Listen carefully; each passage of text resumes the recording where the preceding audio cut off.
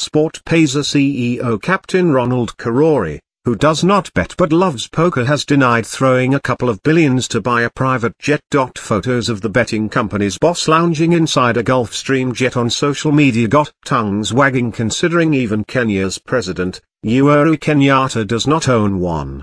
A Gulfstream is a pet acquisition of dollar billionaires including American President Donald Trump, Chelsea FC owner Roman Abramovich, media tycoon Oprah Karauri, a former KQ pilot known to loves motorsports and planes told the Nairobian that he has not yet bought a Gulfstream, and though the photos doing the rounds were real, the original images were edited and accompanied by suggestive words to the effect that he had joined the League of the Jet Set. A Gulfstream can ferry 19 passengers with six snuggling in bed as others lounging in its cabin housing three living areas where oval windows double the amount of natural light. In Free and the Sultan of Brunei who own Gulfstreams. Some people have simply picked photos I took, while traveling, and added theirs to say I have a private jet explained Karauri, clarifying that said it's not true. He also holds shares at Gulfstream Air,